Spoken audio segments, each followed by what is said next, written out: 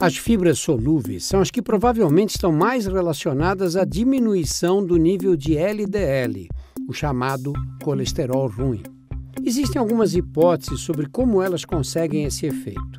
Uma delas é que, ao entrar em contato com água e fluidos gástricos, essas fibras formam uma substância pastosa, como um gel. Esse gel diminui a quantidade de bile que é reabsorvida no intestino delgado e a bile acaba sendo eliminada nas fezes. O fígado então percebe que precisa repor a bile perdida. E para fazer mais bile, ele usa o quê? O colesterol que é retirado do sangue.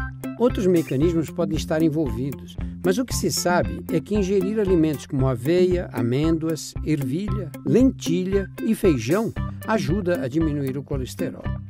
Então, inclua esses alimentos na dieta.